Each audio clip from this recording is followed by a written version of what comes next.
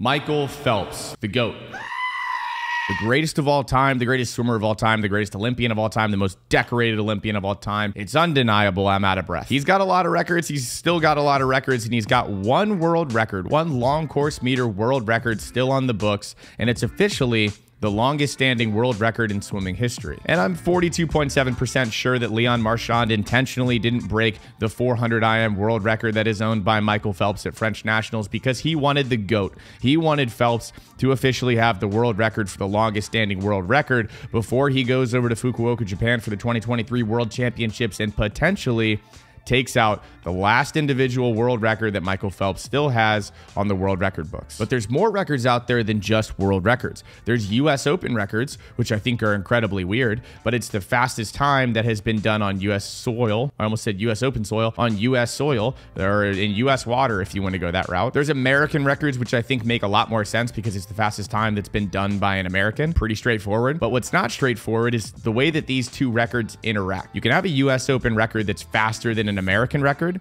And inversely, which if you watch the channel, I'm going to make that word kind of a mainstay on this channel. I like the way it sounds, I like the way it operates within the flow of the video.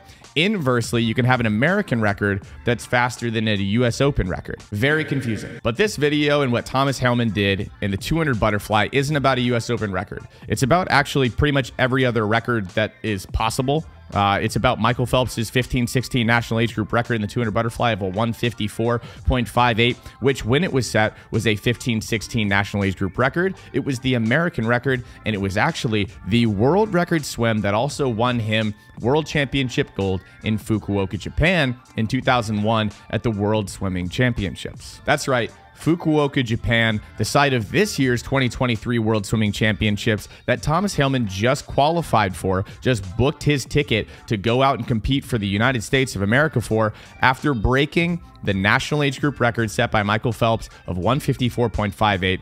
Heilman went 154.54. He clipped it. He took 0.04 off Michael Phelps' national age group record. And while it was a huge swim, it didn't come as a huge surprise to me after what Heilman did at the 2022 Winter Junior National Championships, where he went 44 and 100 fly, 140 and a 200 fly, and a plethora of other times that probably had college coaches and athletic directors throughout the country shipping him, his family, and friends cold, hard cash and boxes with goggles and caps just to try to get this guy to commit so they don't have to swim against him in the NCAA because he is going to be an absolute force if he doesn't go professional and make $400 million a year after what he might do in Paris in 2024 now. But back to Heilman's swim, there was a lot that went down in this one. He came into the event seated second behind Carson Foster, who I had as a heavy favorite going into this event, but behind Heilman was a veteran class of 155s, a very deep race in the fight for what a lot of people thought would just be a fight for second place. With a whole slew of 155s waiting in the wings to try to snipe that ticket,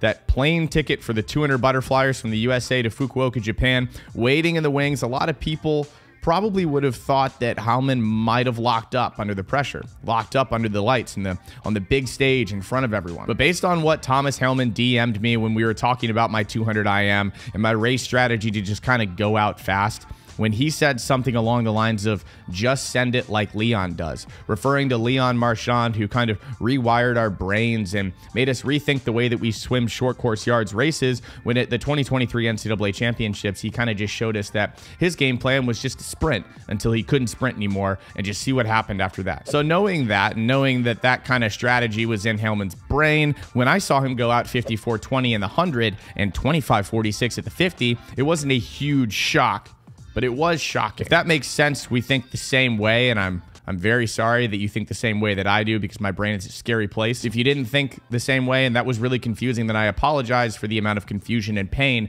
that I have caused your brain at this moment in time. But Heilman settled into the third 50, where a lot of people with not a ton of international team trial race experience, whatever you want to call it, might have freaked out and continued to press the pedal down and burnt out at the end. He split a 30.30 on the third 50 and then swam the gutsiest final 50 that I've seen in a long time, going 30.04 to run down the field and lock up second place, which this led to the best part of this race, what happened after he touched the wall. When Carson Foster realized that Thomas Heilman had either one, made the Fukuoka 2023 national team, the Team USA team that we're sending over there, or two, broke the 15 16 national age group record set by Michael Phelps. Maybe he noticed that both of them happened. What we got after that swim are two nuggets, two little nuggets of media that swimming fans should cherish forever. Number one, we got a huge, quick hand raise into a fully extended double arm water slap celly from Thomas Heilman, which I think is one of the best we've seen from the meet so far. And number two, arguably better, when Thomas Heilman beat Scotty Buff in 100 butterfly at Short Course Junior Nationals, he put his hand on Scotty Buff's head because I think they both looked up at the clock and were just kind of like in awe and a little bit of shock at how fast they had just went and kind of forgot how to interact socially. But after this 200 butterfly, we got a full circle moment with some incredible still frames of Carson Foster doing the same thing to Thomas Heilman. And he, while that is happening, Thomas Heilman kind of does the classic and somewhat weird thing we all do when we're tired for some reason. We put our head down in the water and kind of like blow bubbles. So at this moment, when you combine the two of them, we get these hilarious still frames of Carson looking like he's trying to take Heilman out like Jason Bourne in an aquatic remake before they head off to Fukuoka. Now, of course, Carson was absolutely fired up for Heilman. He raised Thomas's hand up in the air. He gave him the nod on social media. And the U.S. is sending two studs and the 200 butterfly to Japan to try to bring home some hardware. And I try to stay neutral on this channel, kind of, sometimes. But go get them, boys. Like the video before I end the video. Hurry. I'm going to end it. Don't forget to like it. Congrats on the record, Thomas. You're a beast. I'll see you in the next one. See ya.